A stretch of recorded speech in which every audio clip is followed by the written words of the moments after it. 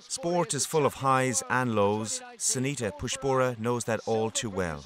Glory on the water, but heartbreak off it. A tough balance.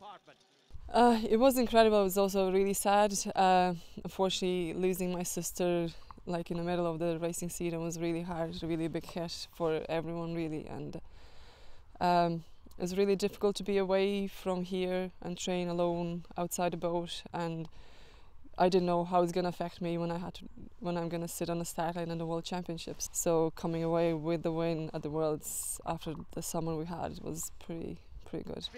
Back to back world champion, but unfinished Olympic business. Sanita missed the Rio final by 0.65 of a second.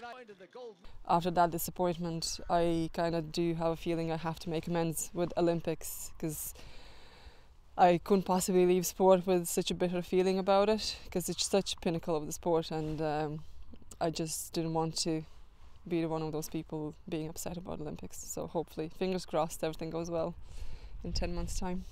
It's been an incredible 2019 for Sanita, victory at the European and World Championships, but the hard work is well underway for what she's hoping will be a big 2020. Darren Frehill, RTE News.